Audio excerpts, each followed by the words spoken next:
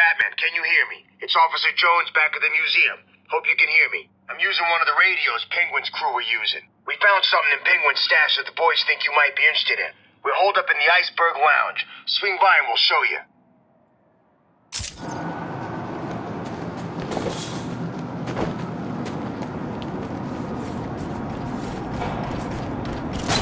It's the bat!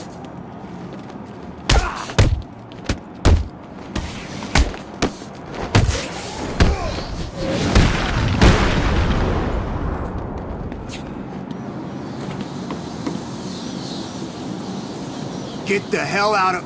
Oh, it's you. Door's unlocked, man. Come on in.